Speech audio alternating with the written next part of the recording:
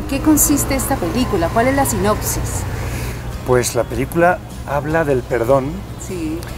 que es el mejor modo de poner un final feliz a cualquier conflicto. Eh, todos tenemos conflictos con, con personas, en el roce con las personas, pues a veces hacemos arañazos o a veces ya heridas más profundas. Y la buena noticia es que, que el perdón lo arregla todo. Busque una víctima que esté dispuesta a perdonar. Y cambiamos de guion. Bueno, surgió aquí en Colombia el proyecto. No, no fue fruto de un- una especie de análisis, a ver de qué vamos a hacer la siguiente película, no, no fue así, sino que estando en una visita aquí a, a Bogotá, tuve la suerte de conocer a unas personas que habían hecho mucho daño y que estaban arrepentidas y que querían pedir perdón, no solo personalmente en, en los encuentros con las víctimas, sino también querían hacerlo público. Y ellos fueron los que me pidieron, "Eh, queremos pedir perdón y nos gustaría hacerlo a través de usted. ¿De cuántos asesinatos estamos hablando? Con mis propias manos, unas 300 personas. Y a partir de aquí aparecieron otras historias de reconciliación por el mundo, muy bonitas, y, y entonces hemos contado al final pues un, un conjunto de, de historias de reconciliación para que el espectador pueda decir, lo mío también va a tener solución. El perdón y ser perdonado libera también. Libera, libera absolutamente. Esto es como si vamos caminando con una mochila que vamos cargando de piedrecitas, cada piedrecita representando un rencor con alguien, una, eso, una- una herida de, en la relación con las personas, y, y la, y la cargamos y la cargamos y la cargamos, de repente aparece una piedra grande y la volvemos a cargar. Chico, esto es mucho más fácil. Da el pasito de perdonar, no lo pienses, porque lo difícil es pensarlo.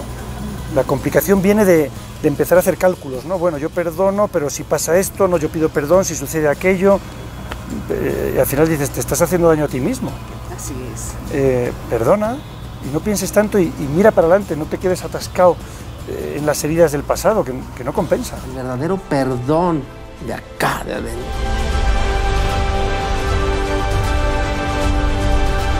¿Cuál es el balance de hacer cine católico?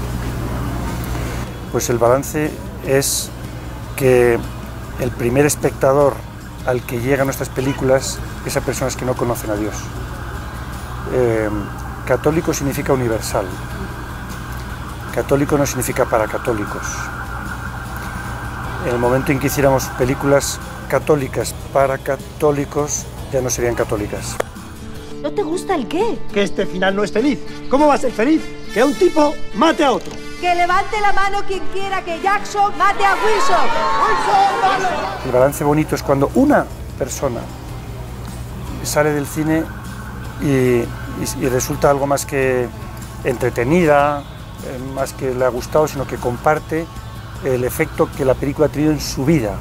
En Colombia y en muchos países pues eh, nos sentimos también muy queridos y muy acompañados porque las películas eh, nuestras de Infinito más uno viajan por el mundo no gracias a una multinacional de la distribución, del espectáculo, no. Eh, nu- nuestra vía de expansión es personas concretas que no esperan a que la película venga a su país, ¿no? a, ver, a ver si viene a Colombia, no, sino que dicen yo la voy a traer. Tú, víctima de una bomba, has abrazado a un hombre que puso bombas a otras personas. Yo lo considero como el aperitivo de la Navidad, el perdón, el perdón. Y si el mayor regalo ayuda a pedir perdón y ayuda a perdonar, y lo hace de una forma amable, simpática, no traumática, pues eh, vayamos a verla. Yo, invito con todo mi entusiasmo, eh, me gustaría decirlo a gritos, ¿no? Vayan a ver el mayor regalo, porque les va a ayudar. Y si es justo antes de la Navidad, ahora en estas fechas, de, de verdad, van a celebrar la Navidad de un modo mucho más bonito, mucho más lleno de paz. Cuando tú estás en la guerra se te cierra el corazón. La palabra amor tú no la conoces ahí. Tú la vienes a conocer después cuando alguien te abraza y te da perdón. Bueno, preparemos esa cena de Navidad con, con una reconciliación sencilla en la familia y todo va a ir mucho mejor. Gracias Juan Manuel Cotelo por esta entrevista, por su tiempo, por estar acá en Colombia y por esa película El Mayor Regalo. Muchas gracias. Me debes algo, güey. Que nadie toque mis cartas.